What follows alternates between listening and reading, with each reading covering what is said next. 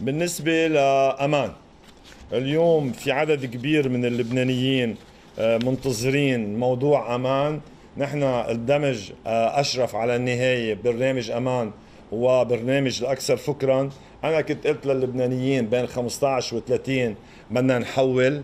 آه، نحن لغاية هذه اللحظة عندنا تعسر والتعسر برجع بقول لكم منه موجود عندنا نحن حاضرين تنقدر نحول عندنا تعسر عم نحاول آه، نتخطى هذا التعسر.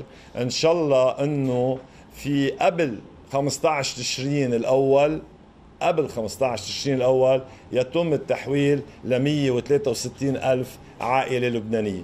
عم نشتغل ولكن لازم نعرف إنه عندنا مشاكل خارج عن إدارة آه، إرادتنا.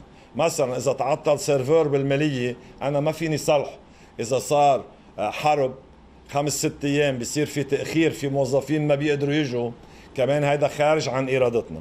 ولكن ببشر اللبنانيين إنه قبل 15 تشرين وبعتذر مرة ثانية للتأخير 163 ألف عائلة يح آه، تقدر آه، يرجع يوصل التحويل المادي.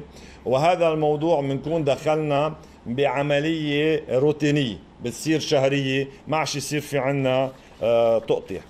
بعد عنا كمان نقطة بدنا نقولها بموضوع عنا السيارات النقالة موجودة اليوم بكل المناطق ولكن اليوم عندنا سيارة نقالة مع صندوق الأمم المتحدة للسكان والتنمية.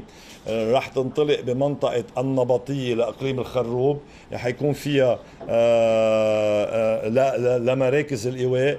رح يكون فيها طبيب آه، نسائي حيكون فيها فريق مع إيكو مع مع لا وأدوية لمتابعه مراكز الايواء من إقليم الخروب لقضاء النبطية مدعومة من كوريا الجنوبية.